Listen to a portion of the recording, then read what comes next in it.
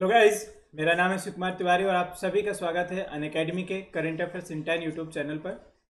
दोस्तों, इस चैनल पर जो भी डेली इंपॉर्टेंट अपडेट्स होते हैं, उसके हम लोग दस दस मिनट के शॉर्ट वीडियो आपको अपलोड करते हैं और ये जितने भी वीडियो आपके सभी गवर्नमेंट एग्ज़ाम के लिए बेनिफिशियल हैं तो जितने भी वीडियो अपलोड होते हैं, सबको बिगिनिंग से लेकर एंड तक ज़रूर देखेगा आज के वीडियो में हम लोग बात करने जा रहे हैं सीपरी रिपोर्ट जी हाँ आपने एक ऑर्गेनाइजेशन का नाम सुना होगा सीपरी जो वर्ल्ड में ये रिपोर्ट पब्लिश करता है कि कौन सा देश है जो अपनी मिलिट्री पे सबसे ज़्यादा खर्च कर रहा है। किस देश की जो आर्म फोर्स है, सो सबसे ज़्यादा स्ट्रांग है।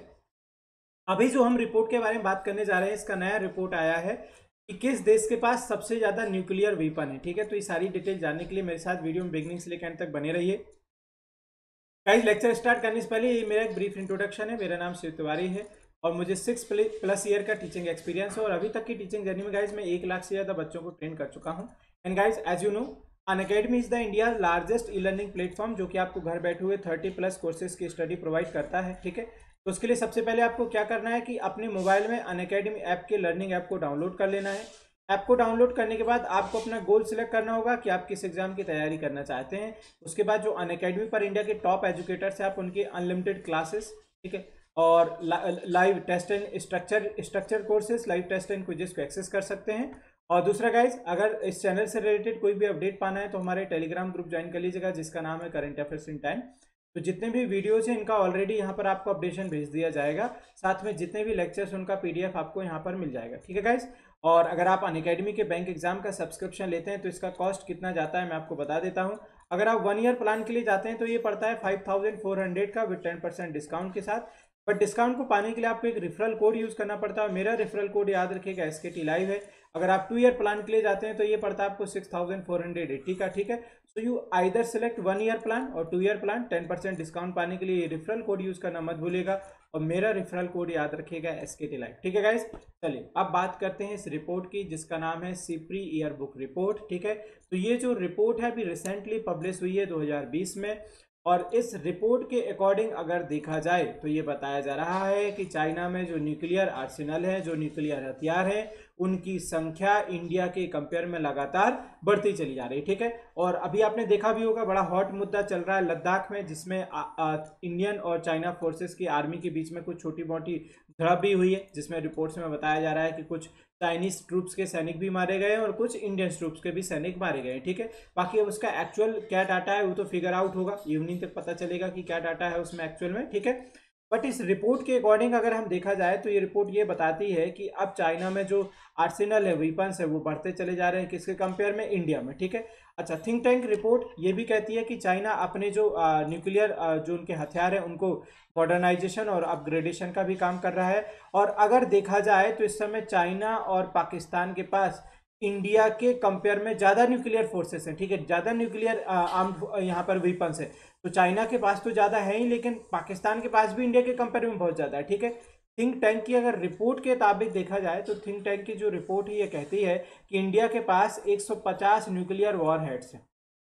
लेकिन चाइना में देखा जाए तो लगभग 290 है तो डेफिनेटली जस्ट डबल डबल के अराउंड है। और पाकिस्तान में है तो पाकिस्तान में माना जा रहा है कि 150 से लेके 160 के बीच में होंगे।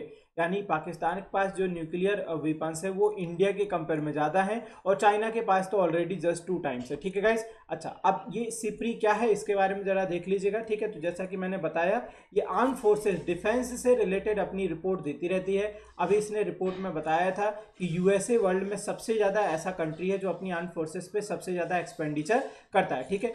सिप्री का फुल फॉर्म याद रखिएगा। Stockholm international peace research institute establish हुआ था 1966 में और इसके हेडक्वार्टर का नाम है सोलन स्वीडन ठीक है? तो इसका जो हेडक्वार्टर याद रखिएगा लोकेशन सोलन स्वीडन और इसने बताया है कि भारत ने भी परमाणु का जो जखीरा वह बढ़ाया है, लेकिन एक्चुअल में देखा जाए, अभी भी हमारे पास चाइना और पाकिस्तान से कम हमारे पास परमाणु हथियारों का स्टॉक है मतलब जखीरा है।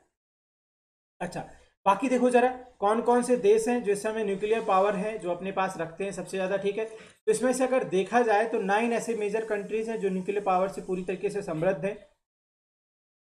सबसे पहले है यूएसए फिर UK Russia France India Pakistan China North Korea and Israel तो ये कुछ ऐसे देश हैं जो पूरी तरीके से परमाणु शक्ति से इस समय लेस है, ठीक है?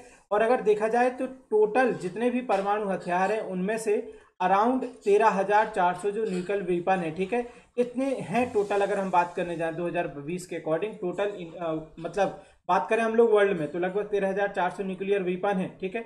और इन पूरे वेपन्स में अगर देखा जाए तो नाइन्टी परसेंट जो वेपन्स है सिर्फ़ दो देशों के पास है यूएस और रसिया के पास। तो सबसे जब बड़ा जो जखीरा है न्यूक्लियर वेपन्स का, वो यूएसए और रसिया के पास है, ठीक है? लेकिन लास्ट ईयर और इस साल के कंपेयर में देखा जाए तो कुछ न्यूक्लियर वेपन्स कम हुए हैं। 2019 में कितने थे? तेरह और प्रेजेंट में ईयर में कितने 2400 इसका मतलब ये है कि बहुत से यूएसए और आपके रसिया के ऐसे हथियार न्यूक्लियर वेपन जो अभी सर्विस से यानी कि सेवा से हटा दिए गए हैं, रिटायर्ड कर दिए गए ठीक है? तो ये गाइस रिपोर्ट ज़रूर याद रखिएगा, बहुत इंपॉर्टेंट रिपोर्ट है, आपके एग्ज़ाम में आ सकती है, ठीक है? एक्सपेंडिचर के बेसिस में देखा जाए तो यूएसए सबसे ज़्यादा खर्च करने वाला देश है। इंडिया में पीछे नहीं है। पहले फिफ्थ पोजीशन थी, ठीक है? खर्च करने के मामले में। अभी नई रिपोर्ट आई है तो उसका भी ज़रूर अपडेट देख लीजिएगा कि इंडिया की पोजीशन इस समय क्या है। और अगर हम न्यूक्लियर वेपन में देखा जाए तो ये ज़रूर है कि इंडिया में संख्या तो बढ़ी है, लेकिन पाकिस्तान और यूएसए के कंपेयर में अभी अभी हमारे देश में कम न्यूक्लियर हथियार हैं, ठीक है? तो guys please share this video max to max जितने भी सोशल प्लेटफॉर्म पर आप जुड़े हुए हैं, सब पर ज़रूर शेयर कर दीजिएगा।